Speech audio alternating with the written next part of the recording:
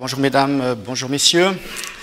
Euh, je me présente, je m'appelle Serge Pitet, je suis effectivement enseignant pour les disciplines euh, de connaissances professionnelles pour les automaticiens.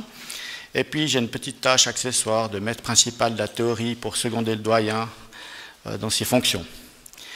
moi je suis un peu comme Monsieur Cliva tout à l'heure, quand mon directeur Michel Tati m'a demandé de, de, présenter les relations qu'il y avait entre le CPNV et puis l'entreprise Bobst.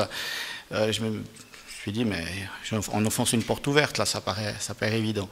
Alors, euh, voilà le menu que j'ai préparé. Je me suis dit, bah, je vais déjà repartir avec le thème de la journée, qui était les interrogations. Euh, quel est le parcours des personnes qui sont dans l'enseignement, quel est l'impact de la formation pédagogique dans le développement des pratiques, quel lien on a avec les autres lieux de formation, et quels défis futurs devront-ils relever? Et puis après, ben, je vais terminer par le, premier point qui était la relation entre CPNV et une entreprise formatrice. Alors le parcours des personnes, ben, je vais parler de mon parcours à moi. Donc moi j'ai fait un apprentissage de mécanicien électricien dans le système dual euh, pendant 4 ans. Après j'ai fait une école de technicien ES en informatique. Ensuite j'ai poursuivi avec une formation de HES à Yverdon en électrotechnique, et puis après j'ai fait de la pratique, j'ai fait 10 ans d'industrie. Donc quand j'ai terminé ma formation euh, à l'école d'ingénieur, euh, je ne me voyais pas, euh, dix ans plus tard, faire de la formation professionnelle. Cette envie, elle est venue durant mes fonctions dans l'entreprise, où j'ai dû former des, clients qui venaient réceptionner des machines et puis qu'il fallait donner des cours, ou parfois directement dans leur entreprise, et j'ai vu que j'avais un, intérêt. Pour ça. Ensuite, euh, donc, quand j'ai commencé le, CPNV, après une année, eh bien, j'ai fait le DFAP qui a duré, euh, qui est la formation de 1800 heures. Donc voilà mon, parcours. Et puis là, j'ai commencé en 2001, donc ça veut dire que là, j'ai 15 ans, c'est ma 16e année d'enseignement à Yverdon, au CPNV. L'impact de la formation pédagogique dans le développement de ma pratique, eh bien, à l'IFFP, bon là c'est très résumé, hein, il y a eu beaucoup de choses sur ces euh, deux ans, mais principalement ce que j'avais retenu, c'était de travailler beaucoup en travail de groupe. C'était euh, le point fort qui est ressorti, travail de groupe essentiellement. Euh, après, dans la pratique, bon, on s'aperçoit qu'il y a des fois, pour certaines disciplines, ça fonctionne bien, pour d'autres un peu moins bien, il faut, il faut s'adapter. Et puis, à travers la formation continue, eh j'ai pu voir en participant à différents séminaires qu'on venait avec des MOOCs, donc euh, la euh, sous forme de tutos, des tests en ligne, MOOCs, euh, Moodle. on nous a parlé de classe inversée aussi, où les apprentis travaillent à la maison, la partie théorique, et puis feraient les, exercices en, classe. Ensuite, on nous a sensibilisés à l'enseignement différencié, donc on a des apprentis qui sont issus de VG, donc la voie générale, d'autres la voie pré-gymnasiale, donc on a de fortes différences dans les classes de, niveau. Et puis, il y a encore les suivis qui doivent être plus individualisés en fonction de ce qui a été mentionné par M. Cliva, où il y a euh, des dyslexiques, des dysorthographiques, etc., où on doit faire un enseignement qui est adapté. Quel lien on a avec les autres lieux de formation? Donc, de mon point de vue, euh, comme enseignant du centre professionnel, eh bien, euh, j'ai des liens euh, déjà avec les TML, qui a aussi des automaticiens. Donc ça, c'est un des premiers points. Je me suis dit, on fait des choses à Yverdon, il faut aussi regarder ce qui se fait au niveau du canton. Et puis après, j'ai élargi mon, réseau, et aujourd'hui, j'ai des contacts dans tous les cantons. Donc, euh, tous les cantons qui sont francophones, qui forment des automaticiens dans chacune des écoles, j'ai réussi à monter un, petit groupe où je peux, on peut échanger. Ensuite, on a des contacts avec les entreprises, BOPS, Login, les CL, TL, plus encore de nombreux petits patrons qui forment dans le canton de Vaud des automaticiens. On a des, contacts avec les CIE, et puis j'ai encore d'autres partenaires. Les autres partenaires, ben, l'association professionnelle, c'est même. Ensuite, euh, on a la CFP, la Commission de la formation professionnelle. Je suis membre de la commission de qualification pour les automaticiens, donc là, il y a également des contacts. La crème et encore la fête. Donc on voit que ça fait beaucoup de partenaires qui tournent, qui gravitent autour de ce métier. Et puis, les défis futurs qu'on devrait relever, eh bien, euh, à mon avis, on ne peut plus faire des cours ex cathedra, mais euh, il faut qu'on change notre manière de faire dans le futur. On sera plus un coach qu'un enseignant. Euh, l'élève devra pouvoir se former à son rythme, ce qui pourrait être réaliser à travers des MOOCs, hein, si on, a, on, commence à réaliser des, des, des, des, tutos, eh bien à partir de là, l'enseignant peut aller à son rythme, s'arrêter, revenir en arrière, chose qu'il ne peut pas faire quand il écoute un enseignant dans une classe. Et puis l'enseignant, lui, doit pouvoir vérifier les acquis à travers des tests. Actuellement, on fait beaucoup de tests sommatifs, mais parfois c'est un peu tard de, s'apercevoir pour un apprenti que voilà, il n'a pas le niveau, puis la note elle est de 2,5, puis voilà, elle est inscrite dans le registre. Si on pouvait faire des tests euh, formatif au lieu de sommatif, eh bien, à mon avis, ça donne un signal à, l'apprenti pour lui dire, ben voilà, tu n'as pas le niveau dans cette discipline-là, il faudrait retravailler avant de faire la validation. Et si on fait des tests, je dirais, version papier, c'est lourd, c'est quasi impossible à, réaliser, alors qu'avec des, des, tests sur Moodle, par exemple, eh bien, on peut très facilement identifier les exercices qui posent problème et puis les retravailler en classe. Et puis après, alors ça c'est le thème qui nous occupe euh, principalement. Donc quand les enseignants et les formateurs font connaissance, on partage sur quoi Sur quoi on va échanger. Alors on va, on va échanger donc euh, sur les nouvelles technologies. Là j'ai mentionné deux points, logique pneumatique et puis euh, dans la logique pneumatique, l'exemple que je vais prendre, on, faisait encore nous des séquenceurs pneumatiques. Quand j'ai commencé à enseigner la commande pneumatique au CPNV, j'avais un, vieux collègue qui me dit ah, mais ça c'est très important, il faut qu'on parle de ça. Et lorsqu'on discutait avec des entreprises, euh, eux, ils avaient déjà fait euh, un, grand pas, euh, ça, ne leur parlait plus. Quoi. Donc on enseignait des choses à nos apprentis qui en fait n'étaient plus du tout utilisées en entreprise. Donc grâce à ces échanges-là, ben, on a dû retravailler notre manière de faire, on a dû revoir notre cours, et puis on a dû également, euh, on, a, renouvelé notre salle de, de commande pneumatique. on a amené de l'électrotechnique dans la partie pneumatique, alors qu'auparavant, c'était une salle exclusivement pneumatique. Euh, les, élèves y passaient des heures à faire des tables de carnot pneumatiques, alors qu'en en fait, euh, ça ne sert à rien, ça c'était plus utile. Donc, je vous parle de ça, on a changé il y a peut-être 8 ans, hein, c'est pas, c'était pas il y, a, 6 mois.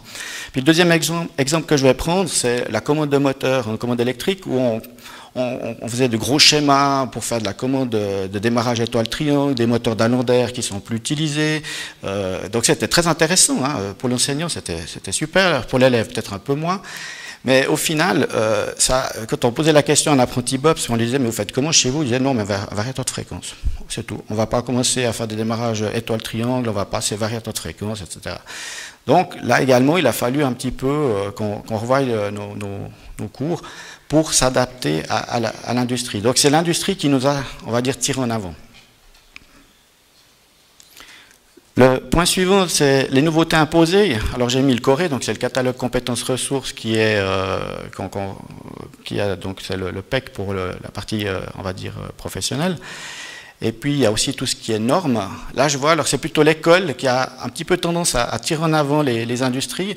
C'est plus compliqué pour une entreprise de, reprendre ses schémas, de, changer les normes. Et là, on a peut-être un petit avance sur, vous, parce que nous, on peut être dynamique, on n'a pas euh, des, machines qui ont été câblées, et puis euh, le client, il va, il va, recommander des machines, puis il aimerait que les schémas ne changent pas, par exemple.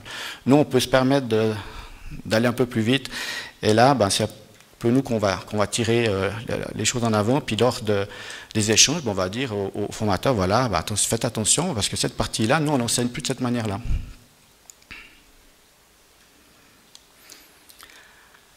On échange également sur les plans d'études, donc sur les plans d'études pour euh, voir s'il y a une adéquation entre ce qui se fait, euh, par exemple pour l'automaticien chez Bob, les deux premières années, il y a un, formation de base, et puis eux, ils sont intéressés à savoir qu'est-ce qu'on enseigne et quand.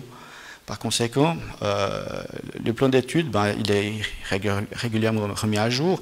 La prochaine séance, elle aura lieu mardi prochain. Eh bien, je vais présenter ce nouveau plan qui va permettre aux formateurs de pouvoir dire, ben voilà, euh, la compte s'enseigne à telle date, à telle, euh, telle année, et puis ça se passe à peu près la dernière semaine de Noël ou après à la rentrée, par exemple. On échange également sur les nouveaux projets qu'on fait au CPNV. On a euh, des cours euh, de commande programma, commande pneumatique, où on a des modules qu'on utilise pour pouvoir euh, enseigner cette partie-là, puis on profite de ces échanges-là pour leur montrer comment est-ce qu'on amène les choses pratiquement. Et puis quand on regarde par rapport à l'entreprise formatrice, eh bien c'est l'opportunité pour nous de voir ce que nos apprentis vont faire, ce qu'ils vont réaliser dans l'entreprise, Et parfois, ben, ça, surprend. Surtout la première fois, quand on, visite l'entreprise, on s'aperçoit que parfois il y a un, fort décalage entre ce que nous, on, enseigne à nos apprentis, puisque eux, ils, doivent réaliser. Donc euh, ça nous permet de voir l'application. Euh, là j'ai noté machine de balage HV à haute vitesse. Euh, c'était impressionnant. Je crois que c'est une machine qui a une cadence de 200 000 pièces heure. Et c'est vraiment du high-tech. Et c'est suivant ce que nous on leur apporte, on, s'aperçoit qu'on n'est pas forcément en adéquation. On échange également sur les apprentis qui sont en difficulté, donc euh, c'est l'opportunité pour nous de, discuter de ces apprentis-là aussi. À quel moment les, échanges ont-ils lieu Donc on a euh, rencontré que notre prix, j'ai mis deux fois par année. La première, ben, c'est celle qui aura lieu la semaine prochaine. Et puis la deuxième, c'est lorsqu'on accueille euh, les, représentants légaux de nos apprentis, les apprentis, et puis les formateurs sont également invités à ces moments-là. Donc euh, les entreprises formatrices, les formateurs ont la possibilité de nous rencontrer deux fois par année. On a également, euh, lors des examens partiels, les entreprises qui sont formatrices, certains de leurs euh, formateurs participent à la surveillance et à la correction des examens partiels. Il y a également des enseignants euh, théoriques, et là, il y a des échanges qui se font.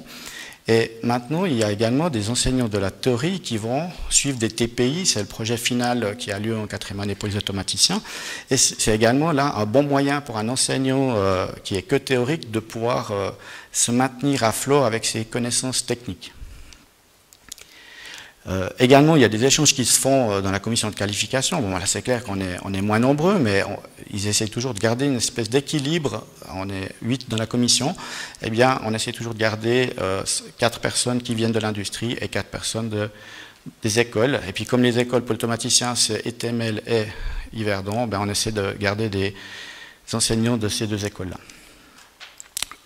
On échange également dans les journées suisses même, qui sont organisées par l'association professionnelle, euh, euh, les, séances de la CFP, les séances de la crème. Parfois j'ai mis crème fête, parce que des fois c'est que fête, des fois c'est la crème et la fête qui se mettent ensemble. Donc là, c'est également des, moments où on arrive à échanger avec les formateurs. Il y a également le salon des métiers, où nos enseignants sont présents. Et là, on a la possibilité de rencontrer les formateurs, et puis, les portes ouvertes des entreprises, ça c'est quelque chose qui, passe très très bien par rapport à nos apprentis. Quand on va voir ce qu'ils font sur place, ils ont un grand plaisir à montrer ce qu'ils réalisent. Et à partir de là, la, vue qu'ils ont sur les enseignants de la théorie est totalement différente. Moi j'ai pu l'observer. Dès l'instant où on s'intéresse à ce qu'ils font, eh bien eux s'intéressent également à ce qu'on a à leur présenter. Voilà, j'ai été assez rapidement, mais on m'a fait signe qu'il fallait que j'accélère un petit peu. Euh, ce que je propose, c'est de donner la parole tout de suite à, euh, Michael Gerber et puis Marc Tessier, puis ensuite euh, je pourrais répondre aux, questions. Tessari, pardon. Alors bonjour à tous. Alors pour ma part et la, de la part de mon collègue, on va présenter donc le point de vue du côté entreprise. Donc nous sommes formateurs tous les deux pour les apprentis automaticiens. on va commencer d'abord par se présenter et le pourquoi est-ce que on a choisi de devenir euh, formateur pour les apprentis automaticiens. Alors, je m'appelle Marc Tessari. Alors, j'ai fait un CFC d'automaticien à l'école des métiers à Lausanne, poursuivi d'une école technique, une école ES. Et après, j'ai travaillé 10 ans dans l'industrie. Dans l'entreprise où je travaillais, euh, j'avais un apprenti pendant 4 ans, automaticien. J'ai mis en place tout le plan de formation. C'était la première fois qu'on avait un apprenti. Et puis, du coup, c'est ce qui m'a vraiment donné envie euh, de faire le métier de formateur. J'ai adoré euh, pouvoir former un jeune de A à Z. Et du coup, euh, ça m'a vraiment donné envie. Et j'ai cherché donc une place comme enseignant ou bien formateur. Et ça fait maintenant deux ans que je suis formateur dans l'entreprise de Bobst. Donc je laisse la place à mon collègue pour qu'il se présente. Bonjour, alors je m'appelle Michael Gerber, euh, donc mon parcours, j'ai fait un CFC donc d'électronicien à l'école technique de la Vallée de Joux. Donc je suis un combier à la base, euh, doublé d'une maturité professionnelle qui m'a permis euh, de faire une école d'ingénieur HES. Et ensuite, ben moi à la base, j'ai toujours eu l'envie de devenir enseignant, de transmettre. Mais je me suis dit que j'aurais plus de je serais plus perspicace si euh, j'exerce un peu mon métier. Tout le fait que ben voilà, j'ai fait 10 ans chez Bob, c'était il y a à peu près une année, j'ai euh, migré au centre euh, de formation. Alors, je, me permets de directement faire un lien avec la présentation du docteur Berger, où même quand on n'est pas enseignant, ben vous l'avez entendu, on est formateur à titre principal. on est une sorte de petite école et je me retrouve très bien dans, dans, votre description. Parce que quand j'ai dû faire le pas pour aller de l'autre côté, c'est vrai que euh, socialement, ben, tout d'un coup, aux yeux de mes collègues, j'ai perdu. M'ont dit, mais qu'est-ce que tu vas faire là-bas? Tu vas dévaluer ton titre, etc., etc., etc. Et voilà, moi j'ai l'envie, je suis amoureux, euh, j'aime mon métier, j'aime le métier euh, d'automaticien et, et j'aime surtout l'être humain, les jeunes, et j'avais envie de transmettre, donner cette envie. Voilà, donc je me retrouve parfaitement dans la cible. Votre étude enfin voilà, ça match. Donc voici le site, de Lausanne. Hein. Donc Bob, c'est une très grande entreprise. On est, euh, j'ai eu la, chance de pouvoir aller voir les autres sites en Chine, en Inde.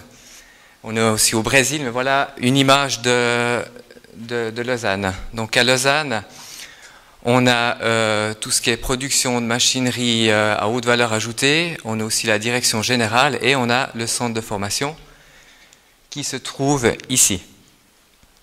Donc là, nous formons, nous avons les apprentis première et deuxième, où on les forme sur, on va dire, trois choses. Premièrement, les cours interentreprises que nous donnons nous-mêmes, également sur euh, euh, des, petites structures projets et également euh, par rapport à la production. Donc on va faire des petites productions en milieu protégé. Donc nous avons 50 apprentis par année, par année, donc en tout on a 200 apprentis pour 1500 employés. Nous formons des automaticiens, des polymecs, des constructeurs en mécanique, des électroniciens, bientôt plus, et des employés de com. Et nous allons donc vous parler plus particulièrement des automaticiens, vu que nous sommes deux formateurs automaticiens.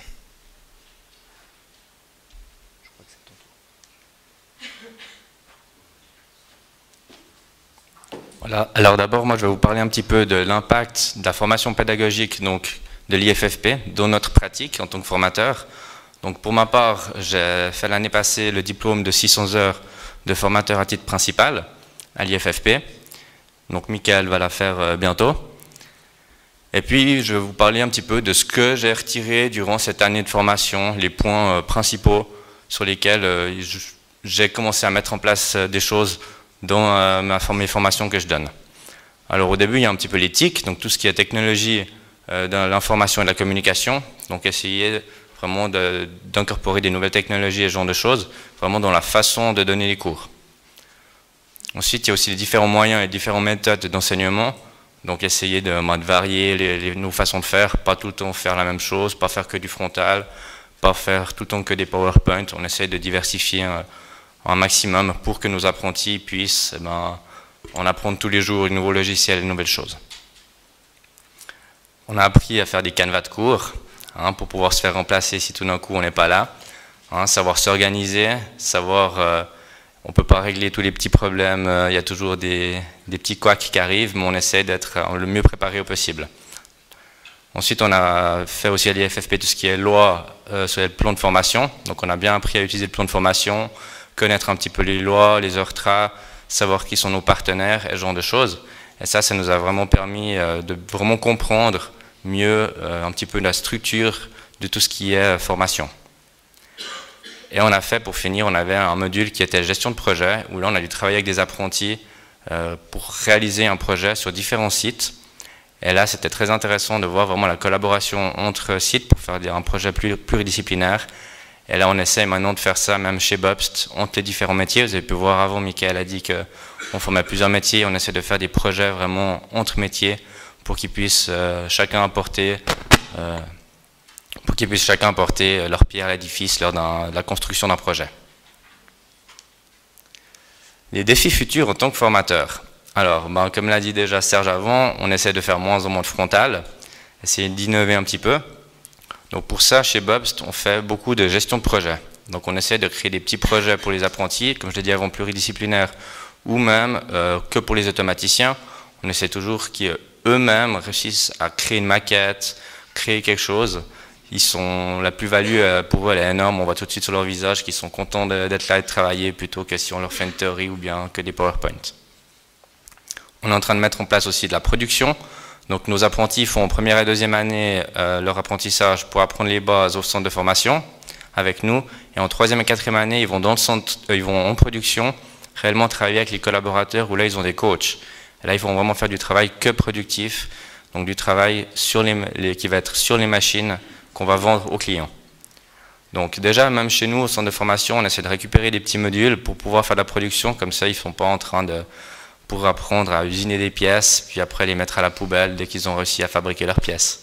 Donc là, c'est vraiment des, produits qui restent euh, euh, qui vont aller dans, nos machines. Et puis le défi aussi qu'on doit faire attention en tant qu'automaticien, c'est la veille technologique. C'est clair qu'on a beaucoup de, nouvelles choses, nouveaux logiciels. Donc il faut toujours qu'on soit euh, en adéquation avec ce qui est sur le marché au niveau technique. Alors les liens avec les autres lieux de formation. Non, c'était encore moi. C'est le slide d'après pour lui.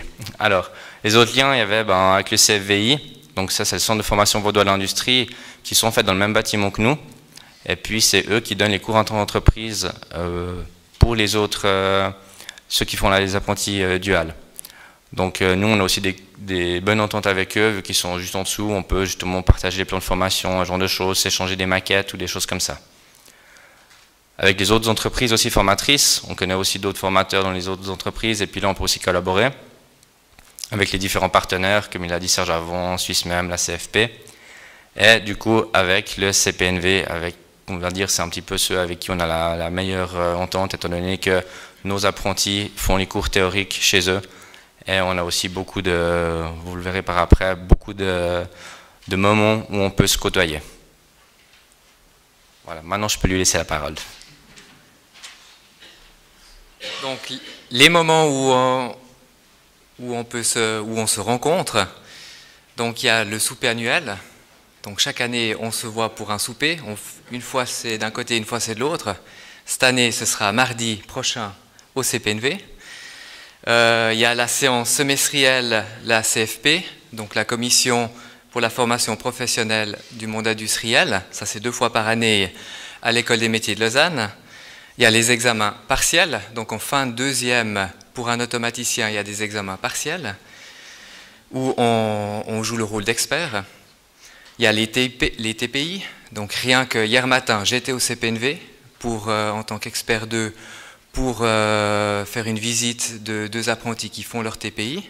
Donc pour les TPI, c'est des travaux euh, professionnels, je crois c'est individuels, hein, voilà. Je ne connais pas encore toutes les abréviations.